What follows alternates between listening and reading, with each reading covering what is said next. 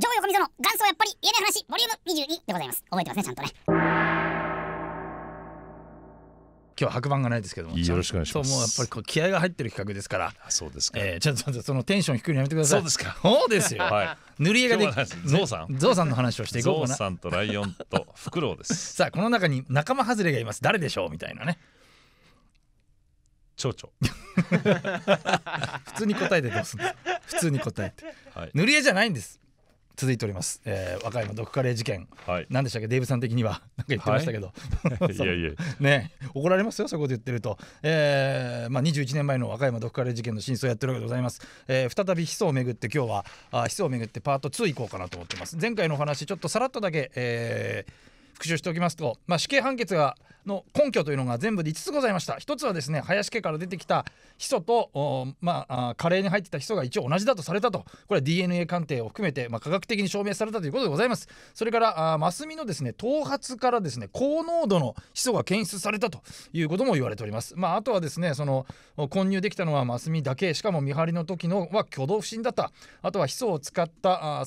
えー、ヒ素を使って殺害しようとした前歴があるとか、えーそれから全面否定していて、えーまあ、全然ですね反省の色がないということでございます、まあ、こうやって見ていただきますといわゆる物的証拠物証と言われているものは1と2だけでございまして、えーその1に関して前回言った通り中井鑑定というのがありまして、えーまあ、それが随分こう怪しいと、まあ、同一とは言い切れないような実は鑑定だったということが後から分かったでございます。でこれでですね、まあ、いわゆる弁護士側が当然この鑑定怪しいんじゃないかということで再鑑定をお願いしたんです。でこの再鑑定に関して誰が指揮を取ったかと言いますと裁判所がですね自分たちの職権というのを使いましてもう一回じゃあ鑑定をしましょうと。いうことで実は別の鑑定人が今度は鑑定をしたんです。その結果出てきた結果はなんとデーブさん同一とは言えないという話がなっちゃったんですよこれ。なるほど。はい。これはこの、えー林家から出てきたと言われるヒ素とカレー鍋に入ったヒ素は同一とは言えないということをまあ別の鑑定人がやったら出てきちゃったんですね。裁判所がお願いした、うん。そしたら裁判所が何て言ったかというと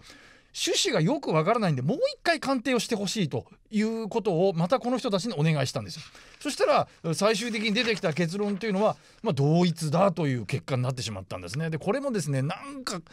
あの説明を聞いてもねよくわからない説明で結果的には一度は同一とは言えないと言ったんですけど、まあ、ある意味裁判所からお願いされたプレッシャーみたいなもので、まあ、同一だという結論になってしまってでこれ結果死刑判決になったんですが、まあ、最終的に今のところは、えーその再審請求の段階で、えー結局ですね全ての鑑定があ証拠の能力能力としては著しく減退したということなんでこの再鑑定も含めて怪しいというところまでは行ってしまった。それからもう一つ思い出してほしいのはその髪の毛に林真澄の髪の毛に高濃度のヒ素がついていたということなんですよ。これはもうけこれはも外側についていたということ？うでこれねよくよくそれは中から検出されたの？外についてたんです。だから結局鍋にヒ素を入れた時に湯気が上がってそれがついたということを言ってるわけなんですけどところがこれ面白いんですよ。ヒ素がついてた髪の毛って1本しかないんですよたった1本しかついてなかったんですよ。うん。でしかも割とその髪の毛の根っこの方についてたっええ。て言われてるんですよ。でも考えてみるとですねシュッとこうあび上がったんだとしたらあの1本しかつかないってことはないですよね。よね。たくさんの髪の毛につくと思うんですよ。うん。でしかも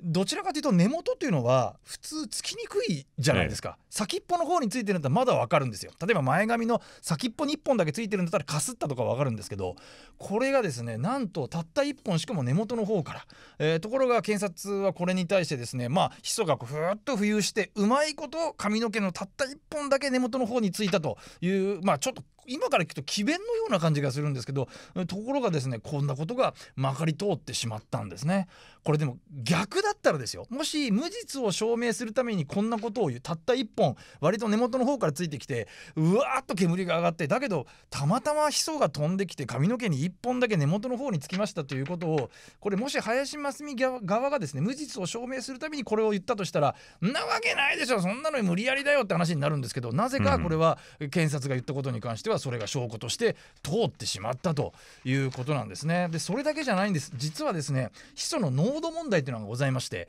検出された、まあ、カレーから検出されたヒ素とそれから林家から検出されたヒ素。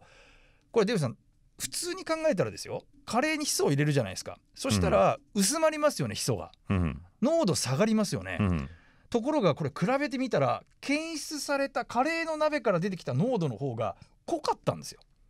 どこより？林の家から出てきたカレーあのヒ素より。うん。おかしくないですか？うんだって鍋に入れたら薄まって薄くなるんですよ。えってことはこれもう別物じゃんっていう話になるんですけど、まあ、これもですね検察側はうーなんかそのうまいことをかき混ぜるうことがねできなくてえちょうどその濃いところだけがグツグツのに残ったみたいなことを言ってでこれもうそのさ証拠として採用されてしまったといううことなんですよね。でこれあの普通に考えたらもう無理筋なんですよ。であのこれもう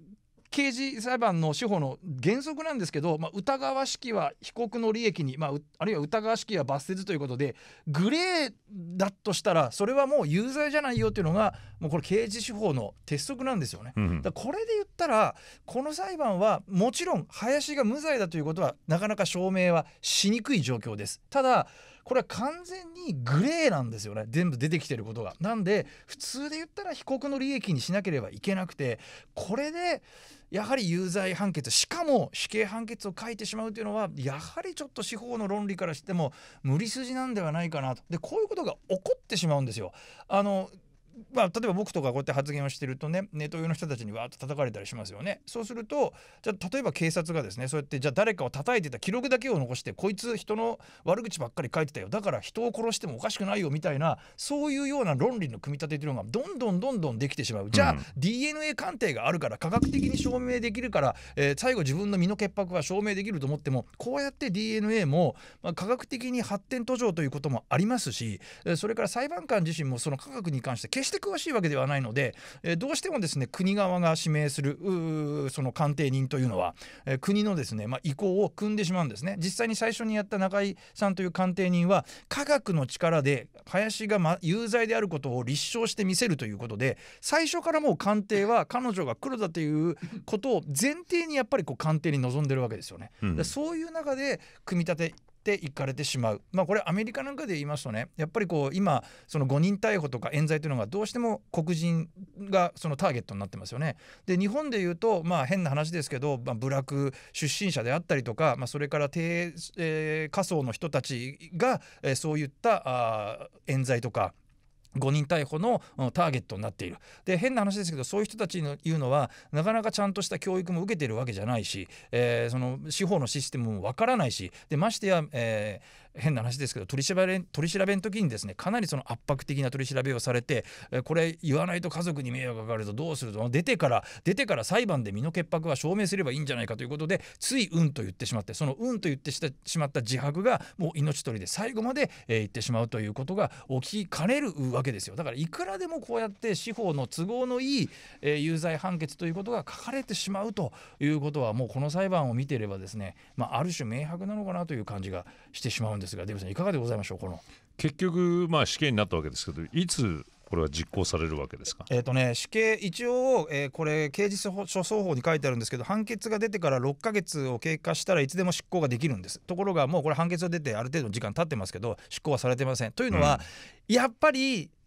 あるんだと思いますよ。これ林冤罪の可能性が高いというのはこれ司法の側にも思考としてしこりとして残ってるんだと思いますね。でこれをやってしまうとひょっとしたらあえーし冤罪で、えー死刑死刑をしてしまったという、まあ、もしかしたら歴史に汚点を残す可能性があるからあー現在は、まあ、引っ張りに引っ張って執行はしていないですしなかなか執行がしにくい状況だとは思いますですからいまだに彼女は大阪高,、えー拘置所にずっといます。まあじゃあ年取って、うんえー無所で亡くなることを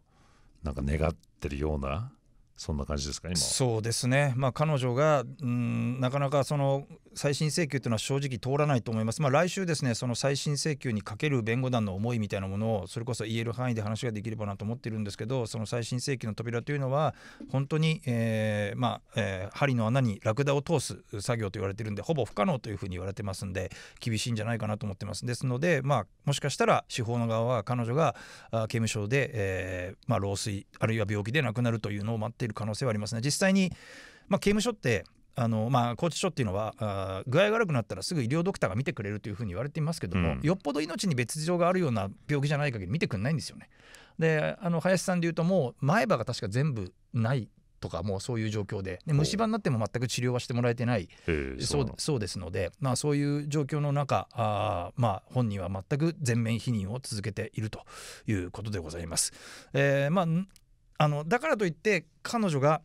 もう一回繰り返しますけども無罪だということは100%言い切れません。たださっき言った通り疑わしきは被告の利益、えーこういうグレーゾーンのものというのは本来はやはり有罪判決というのは、えー司法というのは判決としては下してはいけないというそういった事例であることは間違いないとは思っています、えーいよいよこの和歌山ドカレー事件、えー次週で最終回です。か最終嬉しそうですねデブさん。よかったですね。いやねよかよかあのあ一緒にあのは股間強打でラニーホームラン。大安定でも阿鼻共感